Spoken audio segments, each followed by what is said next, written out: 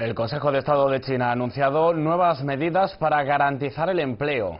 El gobierno chino intensificará el apoyo financiero para las pequeñas y medianas empresas, incrementará la inversión y estabilizará el comercio exterior para impulsar el empleo. En concreto, ha prometido crear más empleos en la industria de servicios. También eliminará las restricciones que obstaculizan un empleo flexible. Asimismo, se realizarán más esfuerzos para fomentar la innovación y la creación de empresas emergentes, por ejemplo, disminuyendo los requisitos para la adquisición de préstamos.